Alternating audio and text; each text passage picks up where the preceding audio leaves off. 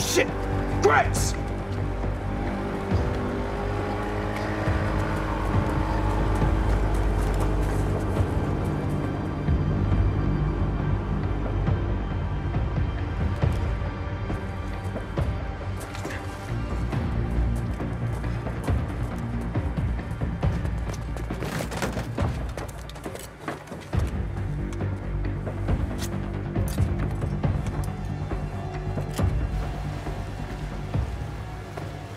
Empty your pockets.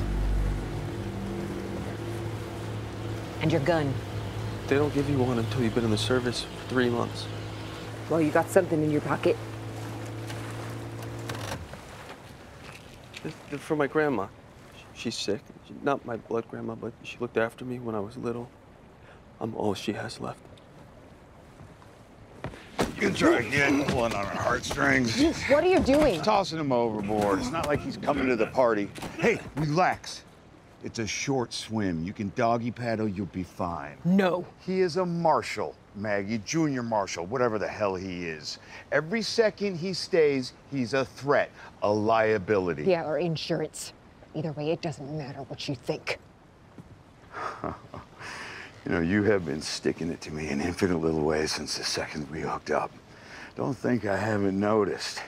And I get how having Hershel taken has you spinning out, stirring up emotions, memories, all sorts of shit. But vengeful thoughts that I thought you had put to bed, clearly you have woken the hell up. But what I don't get is after all these years, you still think I'm the bad guy. I'm not. No one is. Well, you know what, Maggie? Maybe everyone is. Ask yourself one question How many husbands and fathers have you killed?